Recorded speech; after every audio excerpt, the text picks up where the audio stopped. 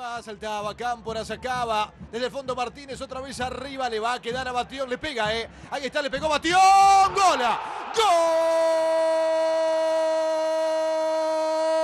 Sí, sí, sí, sí, sí, sí, del Boys. ¡Gol!